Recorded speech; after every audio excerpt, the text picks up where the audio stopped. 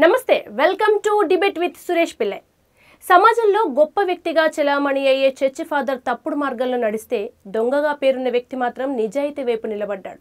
ఆ కథ ఏంటి? దాని వివరాలు ఏంటి? సురేష్ గారిని అడిగి తెలుసుకుందాం. నమస్తే సురేష్ గారు. నమస్తే చర్చి ఫాదర్ హత్య చేయడం ఒక దొంగ నిజాయితీ వైపు నిలబడ్డు. ఈ స్టోరీ అంతా ఒకసారి మాకు ఎక్స్ప్లెయిన్ చేస్తారు. ఇది యాక్చువల్లీ కేరళలో జరిగిన ఇన్సిడెంట్. జరిగింది కూడా ఇరవై ఎనిమిదేళ్ళ కిందట పంతొమ్మిది వందల తొంభై రెండు మార్చి ఇరవై ఏడున జరిగింది హత్య. అది కూడా ఎలా జరిగింది? చర్చిలో చర్చ్ కాన్వెంట్ కాంపౌండ్లో ఒక అమ్మాయి నన్నుగా సిస్టర్గా ఉంటుంది. అభయ అనే పేరుతో ఇప్పుడు మనం చెప్పుకుంటున్నాం. అమ్మాయి అర్ధరాత్రి దాహానికి నిద్రలేసి కిచెన్లోకి వెళ్తే కిచెన్లో చర్చ్ ఫాదరు ఇద్దరు ఇద్దరు ఉన్నారు వాళ్ళతో పాటు ఒక ఇంకొక సిస్టర్ ఉంది సెఫీ అనే థామస్ కక్కూర్ అనే అతను ఇంకొక ఫాదర్ ఉన్నారు. వాళ్ళు కాస్త అభ్యంతరకరమైన స్థితిలో ఉన్నారు. ఈమె చూసి షాక్ అయింది. అతను వాళ్ళు ఆ అమ్మాయిని కర్రతో కొట్టి చంపేశారు. హ్మ్. చూసింటని చూసిందని. చూసింది వాళ్ళ వ్యవహారం బయటికి వెళ్తుంది అని ఆ అమ్మాయిని కర్రతో కొట్టి చంపేశారు. అదే నైట్ బావిలో పడేశారు. ఇది ప్రమాదవశాత్తు జరిగిన మరణం కింద కేసు రిజిస్టర్ అయింది. అయితే ప్రజలు ఊరుకోల. అక్కడ వరకు పోలీసుల్ని మేనేజ్ చేయడం ఖచ్చితంగా మనకు కనిపిస్తుంది. పోలీసుల్ని మేనేజ్ చేశారు. బావిలో పడేసిన తర్వాత అమ్మాయి ఆత్మహత్య చేసుకున్నట్టుగా ప్రచారంలో పెట్టారు. సెకండ్ డే నుంచి ఊరంతా గోల మొదలైంది. వాళ్ళు హత్య చేశారనేసి. తర్వాత ఒక సామాజిక కార్యకర్త దాని మీద కోర్టులో కేసు చేసి బాగా ఫైట్ చేశారు. ఇన్ని సంవ ఇరవై ఎనిమిదేళ్ళు జరిగింది ఈ కేసు మొత్తం. విచారణ అనేది సిబిఐ కోర్టు సిబిఐ దర్యాప్తు చేసింది దీని మీద. సిబిఐ కోర్టులో ఇరవై ఎనిమిదేళ్ళ పాటు జరిగాక మధ్యలో ఒక ఫాదర్ని మాత్రం సాక్ష్యాలు సరిగ్గా లేవని ఒక ఫాదర్కి సంబంధం లేదని వదిలేశారు. ఈ థామస్ కొక్కోర్ అనే ఫాదరు సిస్టర్ సెఫీ అనే వాళ్ళిద్దరికీ యావజ్జీవ శిక్ష ఒక ఐదు లక్షలు జరిమానా వేశారు. ఇది అసలు మొత్తం వ్యవహారం. అయితే ఇందులో ఒక దొంగ పాత్ర ఉంది. అసలు ఈ ఇరవై ఎనిమిదేళ్ళు కేసు సాగినా కూడా బాగా ఇన్ఫ్లుయెన్షియల్ అయిన ఒక చర్చి ఫాదర్ కేసుని ఎంత మ్యానిపులేట్ చేయడానికి ప్రయత్నించినా సాధ్యం కాకపోవడం ఇంతకాలం తర్వాత శిక్ష పడడం అనేది ఒక దొంగ వల్ల సాధ్యమైంది. సినిమాటిక్గా ఉంది సార్ నిజంగా చాలా story. సినిమాటిక్గా. ఇది నిజానికి ఈ పాయింట్ ఈ ఎలిమెంట్ తీసుకుని సినిమాలు కూడా వచ్చాయి మలయాళంలో కూడా వచ్చాయి. దొంగ చిల్లర దొంగతనం చాలా చిల్లర దొంగ. ఇవాళకి కూడా చిన్న ఇంట్లో ఒక గుడిసింట్లో నివసిస్తున్న దొంగ. అతను ఆ రోజు ఇన్సిడెంట్ జరిగిన రోజు రాత్రి అదే చర్చ్ దగ్గరికి దొంగతనానికి వెళ్ళాడు. దొంగతనానికి వెళ్ళి అతని పైగా అతను చేసిన దొంగతనం కూడా ఏంది? ఆ చర్చి టవర్ మీద ఈ లైటనింగ్ కోసం ఒక ఇది పెడతారు. ఆ దాని మీద రాగి కమ్మీ ఉంటుంది. రాగి కమ్మీని దొంగిలించి అమ్ముకోవాలనేది అతని ఉద్దేశం. ఆ రాగి కమ్మీ కోసం దొంగతనానికి వెళ్ళాడు. ఒక చెట్టు ఎక్కి చెట్టు మీద నుంచి చర్చి మీదకి వెళ్ళాలి. చెట్టు ఎక్కి వెయిట్ చేస్తున్నాడు. కాస్త టైం చూసుకొని దొంగతనం చేసుకెళ్దామని. ఆ టైంలో దీనికి సంబంధించిన వ్యవహారం చూశాడు ఆ ఫాదర్లు ఇద్దరు అక్కడ తిరుగుతూ ఉండడము మెట్లు వెళ్తూ ఉండడము దీన్ని చూశాడు. వాళ్ళు ఇతను దొంగతనం చేసాడు లేదో మనకి క్లారిటీ లేదు కానీ రెండు మూడు రోజుల తర్వాత పత్రికల్లో వార్తల్లో చూశాడు. ఇది ఈ ఫాదర్ మీద ఆరోపణలు వస్తున్నాయి అని ఆ ఫాదర్ తను ఆ రోజు నైట్ చూసిన వ్యక్తి. అప్పటి నుంచి పోలీసుల దగ్గరికి వెళ్ళి చెప్పాడు. పోలీసులు ఒక పట్టాన అతన్ని యాక్సెప్ట్ చేయలేదు. అయితే రెండో వైపున అతన్ని ప్రలోభ పెట్టడానికి చాలా ప్రయత్నాలు జరిగాయి. అతను చెబుతున్న ప్రకారం కొన్ని కోట్ల రూపాయలు ఆఫర్ చేశారు. ఇది ఈ కేసు పోలీసులకు చెప్పిన వివరాలను వెనక్కి తీసుకోమని స్టేట్మెంట్ మార్చుకోమని. అతను ఆఫర్ని యాక్సెప్ట్ చేయలేదు. నాకు ఈ డబ్బు అక్కర్లేదు ఆ రోజు జరిగింది నేను చెప్పదలుచుకున్నా ఒక అమ్మాయికి అన్యాయం జరిగింది చంపేశారు. అని అదే మాట మీద నిలబడ్డాడు. చివరి దాకా అదే మాట మీద ఉన్నాడు. ఇప్పుడు అతను చెప్పడం అతని సాక్ష్యం వల్ల మాత్రమే కేసు ఒక కొలిక్కి వచ్చింది వాళ్ళిద్దరికి శిక్ష పడింది. అది మొత్తం వ్యవహారం. సార్ ఒక దొంగ ఇక్కడ రెండు విషయాలు. చిన్న చితక వందల్లో వేలలో దొంగతనం చేసే వ్యక్తికి కోట్లు ఇచ్చినా ఒప్పుకోకపోవడం ఒక విషయం. ఆల్రెడీ ఒక అమ్మాయిని చంపిన వాళ్ళకి దొంగని చంపడం పెద్ద విషయం కాదు. ప్రాణాలకు తెగించి ఎవరు అడగకముందే వెళ్ళి పోలీస్ స్టేషన్లో పెట్టారు అంటే సమాజంలో దొంగ అనే వాళ్ళని ఇప్పుడు ఎలా చూడాలి? గొప్ప స్థాయిలో ఉన్న ఫాదర్ని ఎలా చూడడం సార్ అసలు? ఖచ్చితంగా అదే. జరిగింది ఏంటంటే అతను పాటలో చూసిన రోజున అక్కడ హత్య జరిగిందనే సంగతి అతనికి క్లారిటీ ఉన్నట్లేదు. వాళ్ళిద్దరిని చూశాడు ఏం జరిగిందో రెండు రోజుల తర్వాత అతని దృష్టికి వచ్చింది. ఈ ఆ కాంపౌండ్లో హత్య జరిగింది అదే రోజున ఈ వ్యక్తి మనం చూసిన వాడే ఉన్నాడు అక్కడ అని. అప్పటి నుంచి చాలా గట్టిగా పట్టుబట్టాడు అతను ప్రలోభాలకు లొంగకపోవడం అనేది గొప్ప విషయం. దొంగ వాడి అవసరాల కోసం దొంగతనం చేసి అదే మనకు కనిపిస్తున్న అతని కోర్టు బయటకు వచ్చి తీర్పు తర్వాత ఈ ఇరవై మూడో తేదీ తీర్పు వచ్చింది. తీర్పు తర్వాత కోర్టు బయటకు వచ్చి ప్రెస్ వాళ్ళందరూ చుట్టుముట్టినప్పుడు కూడా అదే మాట చెప్పాడు.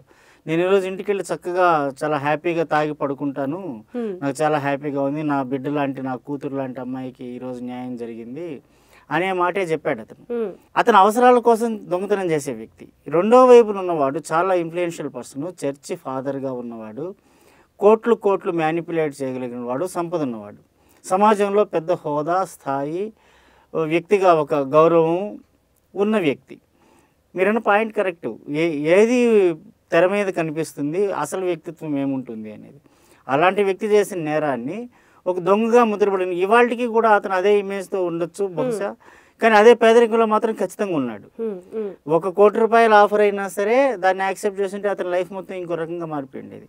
కానీ అతను దానికి ఆశపడకపోవడం అనేది అతని గొప్పతనం. అందుకనే మనం ప్రత్యేకంగా దాని గురించి మాట్లాడుకుంటాం ఇప్పుడు ఈ మొత్తం దాంట్లో హీరో ఎవరంటే దొంగ అని చెప్పొచ్చు మనం. అంతే. దొంగ హీరో. సార్ ఇప్పుడు ఇరవై ఎనిమిదేళ్ళు శిక్ష పడింది అంటున్నారు కదా ఎంతవరకు బాధితులు బాధితులకు సంబంధించిన వాళ్ళు ఉన్నారో పోయారో అది ఎలా సార్ తెలిసేది? నిజానికి ఆ ఫాదరు స్థాయిలో ఉండి ఇరవై ఎనిమిదేళ్ళ కిందటి నేరం జరిగిన జరగడం అంటే ఇంతకాలం విచారణ అంటే నేరం చేసిన వాడే పోతాడు సహజంగా పోతాడు సహజంగా పోతాడు. ఇరవై ఎనిమిదేళ్ళ పాటు. అయితే ఈ కేసులో నేరం చేసిన థామస్ కొక్కూర్ అనే ఫాదర్ ఉన్నాడు. ఆ సిస్టర్ సెఫీ కూడా ఉంది. వాళ్ళిద్దరికీ ఇప్పుడు యావజ్జీవం పడింది. చనిపోయిన అమ్మాయి తల్లిదండ్రులు ఇద్దరు చనిపోయారు. చనిపోయిన అమ్మాయి తల్లిదండ్రులు ఇద్దరు పోయారు. అయినా ఈ దొంగ మాత్రం అతని అడక రాజు అతని పేరు. రాజు మాత్రం నేనే తండ్రి లాంటి వాడిని నా కూతురికి అన్యాయం జరిగినట్టే ఫీల్ అవుతున్నా ఈ కేసు తేలాల్సిందే అనే పట్టుదలతోనే ఉన్నాడు. ఇన్నాళ్ళుగా అతనికి ప్రలోభాలు కానీ ఇతరత్ర కానీ ఎన్ని జరిగినా సరే అతను ఒక్కడు నిలబడ్డాడు కాబట్టి ఈ కేసు కొలిక్కొచ్చింది. సరే కోట్ల విషయానికి వస్తే ఇప్పుడు ఆ అమ్మాయి చనిపోయింది. కనీసం మా బిడ్డకు న్యాయం జరిగిందని ఆనందపడదామా అంటే తల్లిదండ్రులు చనిపోయారు. ఆటోమేటిక్గా మీరు అన్నట్టుగా ఏదో బతుకుండడం వల్ల శిక్ష పడింది కానీ లేకుంటే అసలు ఫాదర్ కూడా చనిపోవాల్సిన ఏజ్కి వచ్చింది. ఇంత ఆలస్యంగా న్యాయం జరగడం కూడా ఎంతవరకు అంటారు సార్? నేరం ఎంత పెద్దదో ఈ ఆలస్యం వల్ల కూడా బాధితులకు న్యాయం జరిగిన ఫీలింగ్ అయితే లేదు కదా. దొంగ తప్ప ఎవరు సంతోషపడేవాళ్ళు లేరు అక్కడ. కరెక్టేనమ్మా ఇది. అయితే ఒక సామాజిక ఉద్యమం కూడా జరిగింది ఆ సిస్టర్ అభయ కేసుకు సంబంధించి. అయితే కోర్టుల వ్యవహారాల్లో మనం పెద్ద కామెంట్ చేయలేం. చాలా కామెంట్స్ వస్తున్నది ఏంటంటే న్యాయం చేయడం అనేది ఎంత ఆలస్యం అయితే అంత అన్యాయం చేసినట్టు అనే కామెంట్స్ కూడా వస్తున్నాయి. అయితే ఈ కేసుకు సంబంధించి అంతా క్లియర్గానే మనకి వార్తల రూపంలో కనిపిస్తున్న వివరాలన్నీ క్లియర్గానే ఉన్నాయి. అయినా ఇరవై ఎనిమిదేళ్ళ పాటు కేసు సాగడం అంటే ఎన్ని రకాలుగా మ్యానిపులేట్ చేసే ప్రయత్నం చేశారు? మనం సంతోషించాల్సింది ఏంటంటే ఇరవై ఎనిమిదేళ్ళు అయినా సరే శిక్ష పడింది. శిక్ష పడింది. వాళ్ళ మ్యానిపులేషన్ అనేది నెగ్గలేదు. ఇతనికే కొన్ని కోట్ల రూపాయలు ఆఫర్ చేశారంటే ఇంకా ఇతర సోర్సెస్ ద్వారా చాలా ఎక్కువ మ్యానిపులేషన్ కూడా ప్రయత్నం చేసే అవకాశం ఉంది. పైగా మనకుండే సెటప్లో చర్చి ఫాదరు ఈ సెటప్లో ఎన్ని కోట్లు మ్యానిపులేట్ చేయడానికైనా వాళ్ళు వెనకాడే అవకా ఆ- అంత కర్మ కూడా లేదు. ఈజీగా వాళ్ళు మ్యానిపులేట్ చేయగలరు.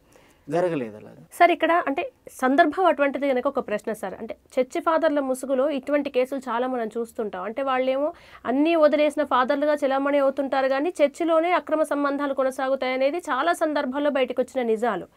ఈ ఈ ముసుగును ఇప్పటికీ జనాలు పూర్తిగా యాక్సెప్ట్ ఎందుకు చేయట్లేదు? ఇంకా ఈ నమ్మకాల వైపు ఎలా వెళ్తున్నారు? ఇది ఒక్క ఫాదర్లకి మనం ముడిపెట్టాల్సిన అవసరం లేదు. ఒక్క ఫా చర్చి ఫాదరు ఈ క్రిస్టియానిటీకి సంబంధించిన వ్యక్తులను మాత్రం ఆపాదించడం కూడా కరెక్ట్ కాదు.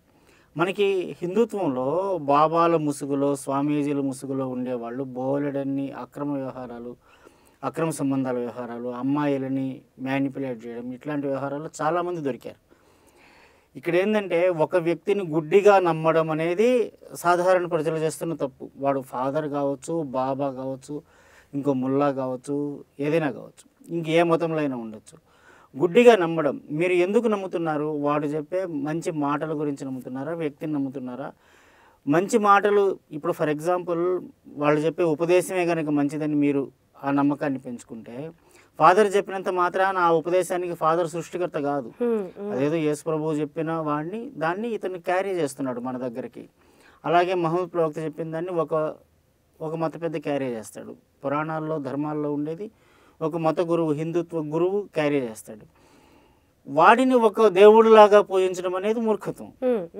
ఏదో కొత్తగా ఒక ఇండ్ల చంద్రశేఖర్ అనే ఫ్రెండ్ రాసిన కథ చదివితే కూడా నాకు ఇదే ఫాదర్ని దేవుడిలాగా పాస్టర్ని దేవుడిలాగా ఫీల్ కావడం పాస్టర్నే మొక్కడం పాస్టరే శిక్షిస్తాడు పాస్టర్ని ఏమన్నా అంటే దేవుడిని దేవుడి పట్ల అపరాధం చేసినట్టే అనే తరహా వాదన కూడా చూశాను నేను. ఇదంతా మూర్ఖత్వానికి సంబంధించి. వ్యక్తిని దేవుడి కింద ఫీల్ కావడం వ్యక్తి ఏది అడిగితే అది మనం సమర్పణ భావంలాగా ఆ, వాడు సెక్సువల్గా అబ్యూస్ చేసినా దాన్ని ఏదో మనం దేవుడికి సమర్పించినట్టు ఫీల్ అయ్యే మూర్ఖత్వం ఉంటే అది ఎవడైనా మ్యానిపులేట్ చేస్తాడు. ఏ మతము దానికి అతీతం కాదు. వ్యక్తులు దుర్మార్గులు కానీ మతాల దుర్మార్గమైనట్టు కాదు ఎప్పుడు. వాళ్ళ వల్ల మనం ఈరోజు చర్చ్ ఫాదర్లు చేస్తున్నారు కదా అంటాము. ఇంకొక సందర్భంలో అయితే బాబాలందరూ ఇలా చేస్తున్నారు అంటాం అలా మనం మాట్లాడుకుంటాం. టోటల్గా ప్రజలు చైతన్యం అయ్యేంత వరకు మూర్ఖత్వం నుంచి కొద్దిగా బయటికి రావాలి. మీరు పిన్ పాయింటెడ్గా ఉండాలి. మీరు వ్యక్తిని పూజిస్తున్నారా వాడు చెప్పే విషయాన్ని ఇష్టపడుతున్నారా? నమ్ముతున్నారా? Hmm. అనే విషయాన్ని నమ్మినంత వరకు వాడి దాని పట్లే మన గౌరవం ఉండాలి. Hmm. వ్యక్తి మీద వ్యక్తిగా ఉండే గౌరవమే. అంతకు మించిన ప్రయారిటీ ఇస్తే వాడు ఈజీగా మనము వలనరబుల్ అవుతాం. వాడి యాక్సెస్లోకి వెళ్తాం. టోటల్గా ఫైనల్గా మనం ఇప్పుడు దొంగ అనడం కరెక్ట్ కాదు. ఎందుకంటే ఆయన మనసును చూసిన తర్వాత హీరో. హీరో మనకి సోను సూద్ ఎలాంటి హీరోనో అవును. ఈ ఒక్క ఇన్సిడెంట్కి సంబంధించి ఓ నిజాయితీ ఇప్పుడు ఒక డైలాగ్ ఉంటుందమ్మా పవన్ కళ్యాణ్ డైలాగ్ కూడా గబ్బర్ సింగ్లో. ఒకటి ఒక వారం ట్రై చేస్తే పడుతుంది ఒకటి నెల ట్రై చేస్తే పడుతుంది అమ్మాయి అన్నాక పడే తీరాలి. అట్లా నిజాయితీకి ఒక రేటు ఉంటుంది మామూలు మాటలు చలామణిలో. ఒకడు లక్ష రూపాయలకి లొంగుతాడు ఒకడు కోటి రూపాయలకి లొంగుతాడు. మధ్యలో ఒక్కొక్కడు ఒక్కో దశలో లొంగుతుంటాడు. కోట్లకు కూడా లెంగలేదు ఒకటి వాడు అత్యంత పేదవాడు. ఇప్పటికీ గుడిసెలో బతుకుతున్నవాడు. ఇలాంటి వాడు కోట్లకు కూడా లొంగలేదంటే వాడు దేవుడు. అవును అవును. ఇంకొకడు కాదు. వాడు సోను సుదిని మనం ఎంత హీరో కింద చూస్తున్నామో ఈ వ్యవహారంలో నిజాయితీ అనే దానికి ప్రత్యేకగా ఒక మూర్తి భవించిన నిజాయితీ లాంటి వ్యక్తి. అవును పూరి గుడిసెలో ఉన్న ఆయన పేరు రాజు అని చెప్పారు. నిజంగా రాజే. రాజే. అతను కోర్టు బయటకు అతను ఏకైక అతని సెలబ్రేషన్ ఏంటంటే ఈ రోజు న్యాయం జరిగింది నేను హాయిగా సంతోషంగా తాగుతా ఈరోజు సంతోషంలో తాగుతా అని. అంతకుమించి అతని సెలబ్రేషన్ కూడా లేదు. అంత అద్భుతమైన ఎగ్జాంపుల్ ఇది. యా మన లియో న్యూస్ నుంచి కూడా రాజుకి hats off తెలియజేసుకుందాం sir. Thank you so much sir thank you so much చూసారు కదండి ఇది ఇవాళ అంశం. మరో కార్యక్రమంలో మళ్ళీ కలుసుకుందాం. అంతవరకు సెలవు.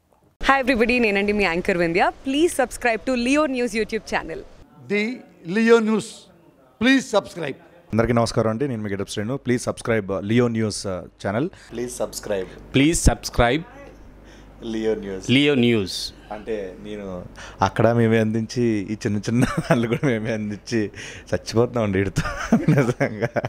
వీడు మాత్రం మమ్మల్ని బాగా వినియోగించుకుంటున్నాడు. Thank you thank you please subscribe Leo News thank you ఇలాంటి ఇంట్రెస్టింగ్ వీడియోస్ కోసం తప్పకుండా మా ఛానల్ని సబ్స్క్రైబ్ చేయండి.